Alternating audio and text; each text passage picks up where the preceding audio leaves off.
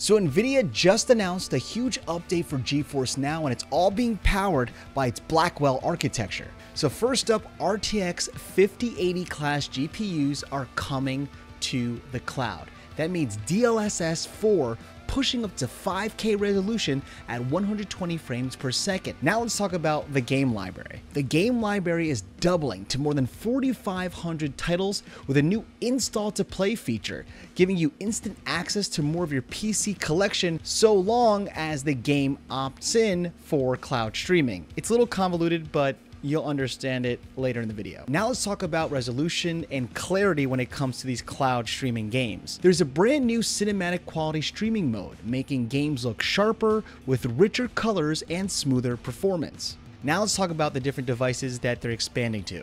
There'll be 90 frames per second on the Steam Deck, there'll be some LG TVs that can support 4K at 120 Hz, and they're including support for some racing wheels. Now let's talk about the Discord thing. Nvidia is teaming up with Discord and Epic for a limited time integrated cloud gaming trial right in the Discord software. Now for that install to play thing, so if you have the performance or the ultimate tier, you'll be able to access 100 gigabytes of storage in the cloud for select PC games that are not yet supported via GeForce Cloud. Imagine it like you're having a hard drive in the cloud that you could download 100 gigabytes full of games for so long as the games say it's okay.